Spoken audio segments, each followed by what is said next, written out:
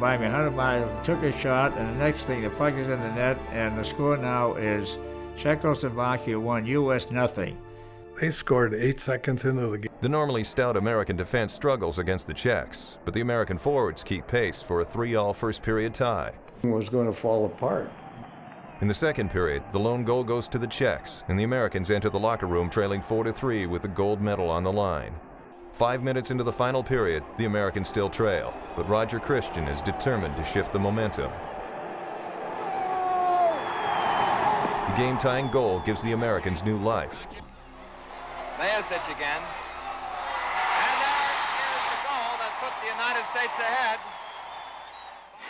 Back to the point position, slap shot by Kirrane, and it's tipped in. Bob Cleary's back-to-back goals give the U.S. the lead, but the Americans aren't finished yet.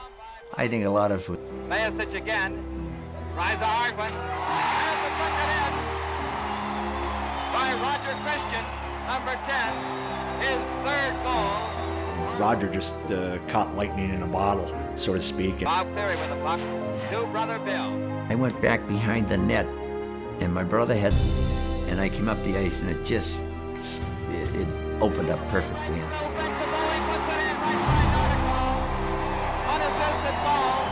And the score is 8.